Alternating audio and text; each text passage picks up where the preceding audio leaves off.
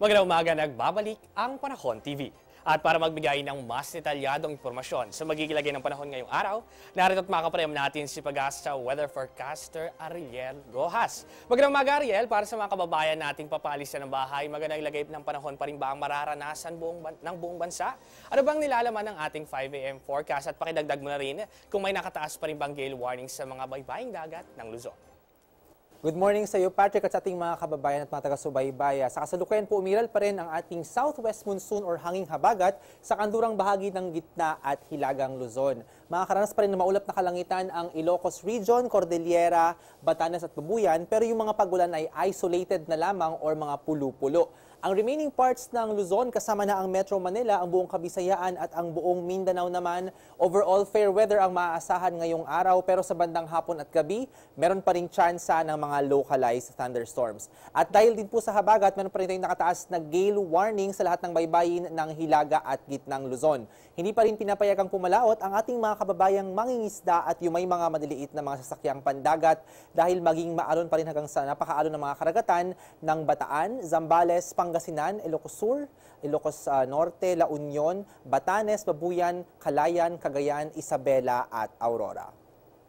Ariel, itong habagat ay patuloy pa rin sa pag-iral sa Luzon. At bagamat simula noong nakalabas na nga sa par itong mga bagyo, ay gumaganda na ang lagay ng panahon sa malaking bahagi ng bansa. Patuloy pa rin ba itong magdadala ng pagulan sa kalurang bahagi ng Luzon?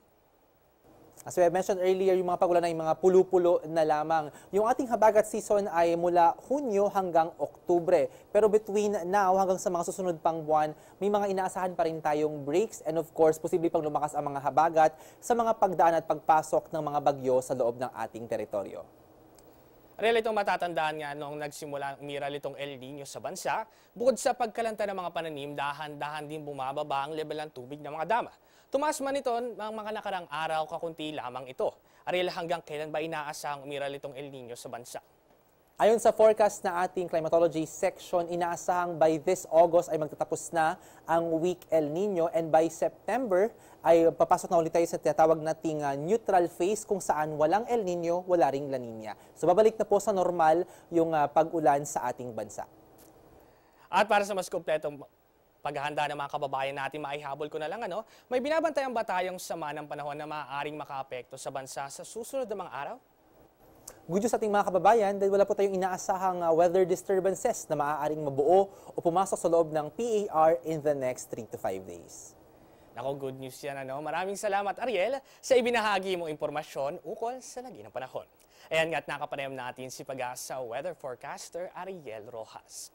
At sa patuloy nga na pag-iral ng habagat sa bansa upang mas lalo pang maintindihan ang weather system na ito, narito ang isang napapanahong kalaman.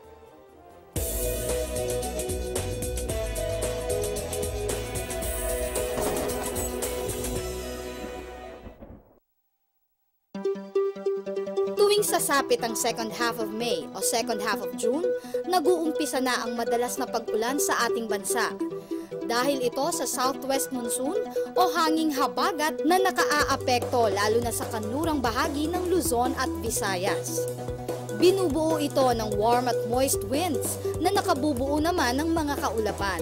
Lalo pang lumalakas ang habagat kapag may low pressure area o bagyo sa loob ng Philippine Area of Responsibility o PAR. Kapag malakas ang habagat, mas maraming ulan ang ibubuhos nito sa mga apektadong lugar. Pero kahit walang bagyo, posibleng magdala ito ng mga pag-ulan lalo na sa loob ng magkakasunod na araw. Kaya tuwing habagat season, tumataas din ang posibilidad ng pagbaha at pagguho ng lupa.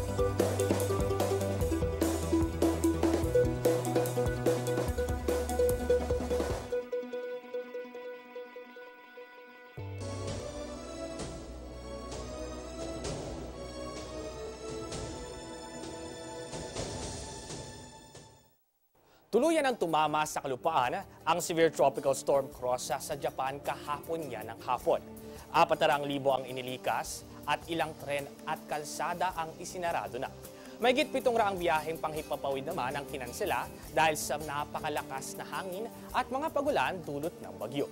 Malalakas na alon din ang humampas sa mga baybaying dagat ng Japan.